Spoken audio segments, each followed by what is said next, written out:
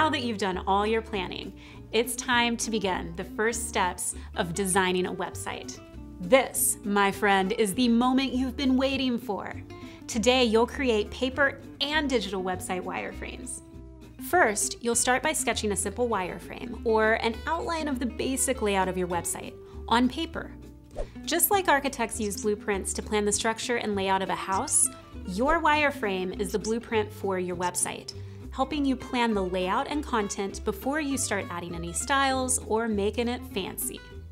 But wait, this is a digital class. Why do we start out on paper? That's so you can quickly sketch your wireframe and immediately know whether you want to move forward with an idea or take it back to the drawing board.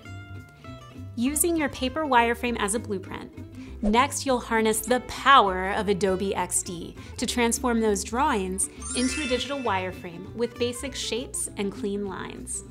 Over the next few lessons, you'll gradually add details like colors, typography, and images to this wireframe until your design idea comes to life as a high-fidelity, realistic design comp. So go forth, sketch quickly, and embrace the unlimited power of wireframes. now let's open XD and learn how to convert those paper wireframes into digital ones. Find and click your project file. Your artboard will open in the XD workspace. First, make sure your Layers panel is visible to the right of your toolbar. You might need to click the Layers button in the bottom left corner of the toolbar to open the Layers panel. Zoom your artboard to fit the screen by pressing the Control and Zero keys on Windows or the Command and Zero keys on Mac. To import your paper wireframe image on Mac, go to the main menu at the top of the screen then click the File drop-down menu. On Windows, you'll click the collapsed menu icon in the top left corner of the screen. On both Windows and Mac, you'll select Import from the menu that appears. Select your wireframe photo, then click the Import button.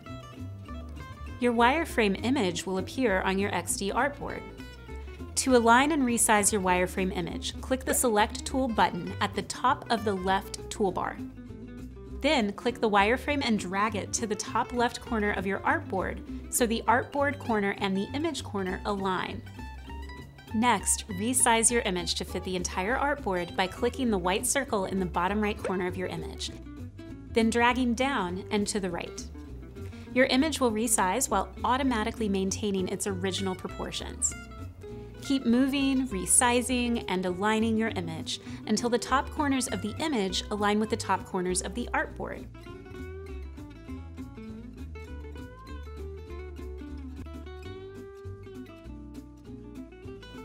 You may need to zoom in or out to get a better view.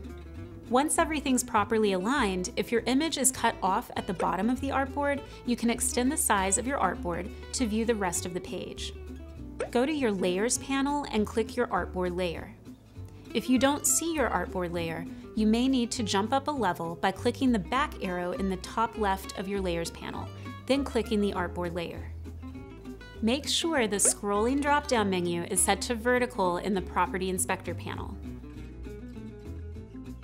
Then click the white circle in the bottom center of your artboard and drag it down to extend the artboard to the bottom edge of your wireframe image.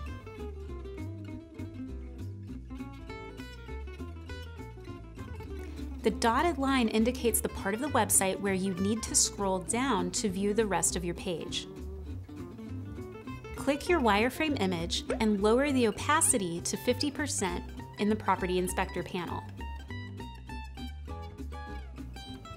Mouse over the name of the wireframe layer in your Layers panel. Click the Lock icon to the right of the layer name to lock the layer from further changes.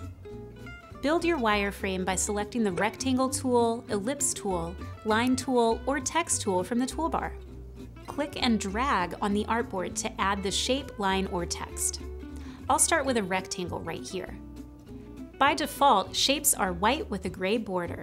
Remember, wireframes are low fidelity, so you'll add other colors later. Then I'll add some text here.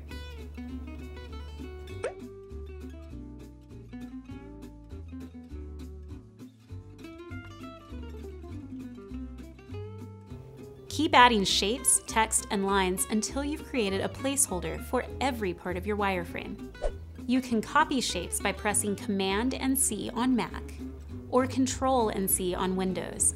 Then paste shapes by pressing Command and V on Mac or Control and V on Windows.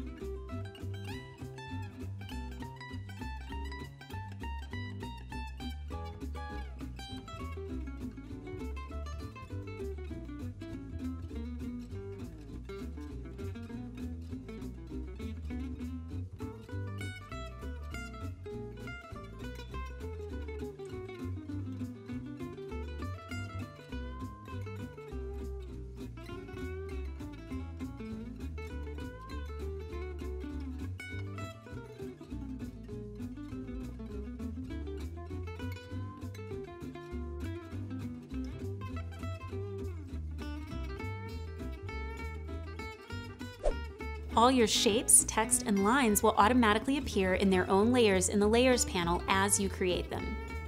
You can click a layer in the Layers panel, then drag it up to bring it into the foreground, or down to send it into the background.